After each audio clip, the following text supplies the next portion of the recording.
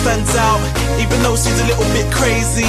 I love a challenging lady. I said I ain't got a Lamborghini, but a couple of bottles of martini. She wants to see the whole world. I can't afford it